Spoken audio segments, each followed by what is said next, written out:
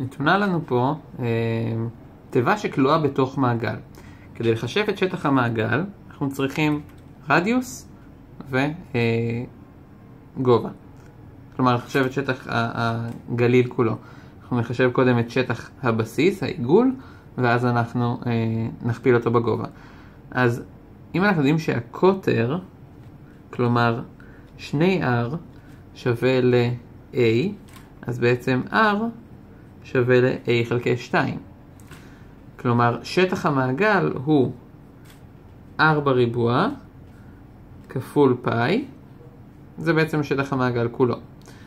כפול הגובה, כפול A, ייתן לי את הגליל.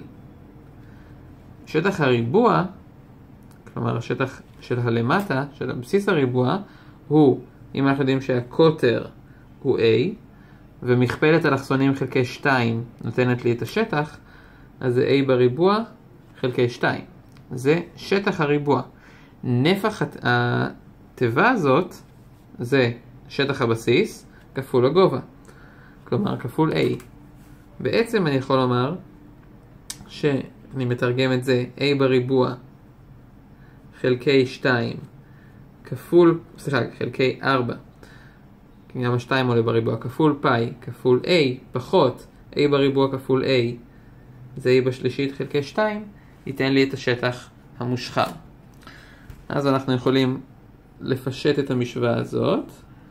בעצם יש לי A בריבוע כפול A, זה A בשלישית, כפול פאי חלקי 4, פחות A בשלישית חלקי 2.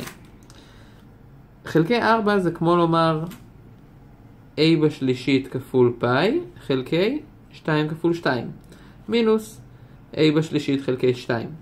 אני יכול לפצל את זה, לחצות את זה ככה.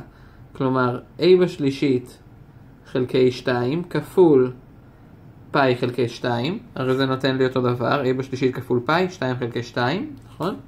2 כפול 2, פחות a בשלישית חלקי 2. בעצם אני מוציא את הגורם המשותף, כלומר מחלק את כל אחד מהביטויים האלו אה, ב-a בשלישית חלקי 2, ומשאיר אותו מחוץ לסוגריים. הביטוי הזה חלקי a בשלישית חלקי 2 נותן לי חצי פאי, או פאי חלקי 2. אם אני מחלק את הביטוי הזה ב-a בשלישית חלקי 2, נשאר לי 1. כל מספר חלקי עצמו שווה ל-1. וזאת תשובה מספר 1.